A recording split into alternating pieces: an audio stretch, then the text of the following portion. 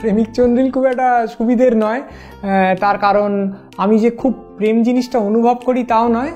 একটা আধটা প্রপোজ নিশ্চয় করেছিলাম, আর একদম সকলেই রিফিউজ করে দিয়েছে তক্ষুনি, কোনো অসুবিধে নেই তাতে। তারপর আবার কিছু ক্ষেত্রে সামান্য সাফল্য হয়েছে। প্রেমিক চন্দ্রিল হিসেবে আমি যে দুর্দান্ত পারফিউম মেখে, চুল টুল সব ঠিক করে, দারুণ জামা পরে অ্যাপো করতে যেতাম, ব্যাপারটা ঠিক তা নয়। আমি চেষ্টা করেছিলাম আমার মতোই থাকার, তাতে এক একজন আমাকে গ্রহণ করেছে, সেটা ভালো আমি যখন গান লিখি বা অন্যান্য যখন কোনো শিল্প তৈরি করার চেষ্টা করি, এই বাংলা শিল্প সংস্কৃতিতে প্রেম জিনিসটা এত বেশি চর্চিত যে আমি চেষ্টা করি প্রেম ছাড়া অন্য সব কিছু নিয়ে কাজ করতে। যদিও আমি প্রেমের গানও লিখেছি, আমি চেষ্টা করেছি প্রেমের গান যেরকম হয়, সেরকম ছাড়া অন্য কোনো ধরনে প্রেমের গানটা লিখতে। সেই জন্যে ওইটুকুন আমার খেয়াল থাকে যে সাধারণত বাঙালি শিল্পীরা যেভাবে নিজেদের প্রেমকে প্রকাশ করেন, তার বাইরে যদি আমি প্রকাশ করি, সেটা আমার কাছে খুব চমৎকার একটা সার্থক চেষ্টা বলে গণ্য হবে।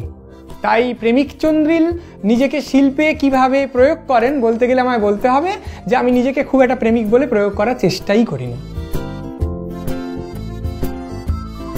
আমি ছোটবেলায় একটা হস্টেলে পড়েছি যেখানে মেয়েদের প্রবেশ পুরোপুরি নিষেধ ছিল।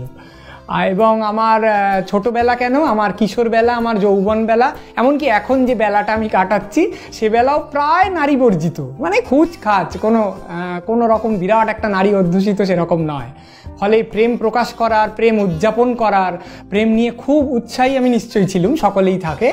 কিন্তু সেইটাকে বাস্তবে প্রকাশ করার খুব একটা সুযোগ আমি পাইনি।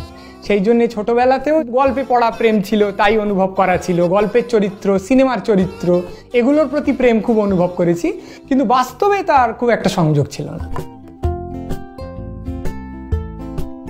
বাংলা সিনেমায় প্রেম এই নিয়ে বক্তব্য আমার পক্ষে প্রকাশ করা বেশ শক্ত। তার কারণ বাংলা ছবি বলতে মূল স্রোতের যে ছবি, সেইগুলো আমি খুব একটা দেখিনি। একটা আড্ডা দেখেছি, আমার খুব একটা পছন্দও নয়।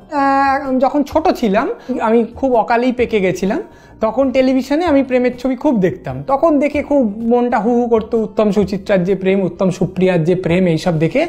কিন্তু পরবর্তীকালে প্রেমের সেই প্রকাশগুলোকে আমার একটু উচ্চকিত মনে হয়েছে, একটু উচ্চ গ্রামের মনে হয়েছে বলা ভালো। আর তারপর এখনকার বাংলা ছবিতে প্রেমের যে প্রকাশ হয় আমি এখনকার বাংলা ছবিও খুব একটা দেখি না।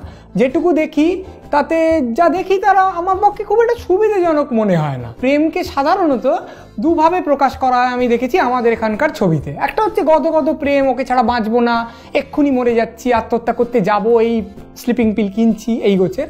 আর আরেকটা হচ্ছে আজকালকার ছেলে মেয়েদের মতন, এক- মানে আজকালকার ছেলেমেয়েরা যেরম হয় বলে অনেক ফিল্ম মেকার মনে করেন সেই রকম, যে বড্ড বেশি ক্যাজুয়ালি জিনিসটাকে নেওয়া হচ্ছে। আমার মনে হয় দুটোর মধ্যেই একটাই একটু অতিরেক আছে, আর একটা একটু কমিয়ে দেখানো আছে। আমি জানি না প্রেমটাকে কীভাবে প্রকাশ করতে হবে, কিন্তু এই দুটো ক্ষেত্রেই সত্যি সত্যি প্রেমকে কি করে দেখানো হয় বা একটা প্রেম কি করে, একটা লোক কি করে অনুভব করে এবং প্রকাশ করে, এই দুটোর ক্ষেত্রেই তার কিছু খান্তি থেকে যায়। ফলে আমি বলব যে আমি প্রেমকে খুব একটা বুঝে উঠতে পারি না, তাই অন্যরা প্রেমকে কীভাবে বোঝে ওঠেন সেটা যে আমি ঠিক করে বুঝি তাও হয়তো নয়, কিন্তু আমি এখানে প্রেমকে একটু অন্যভাবে বোঝার চেষ্টা করেছি।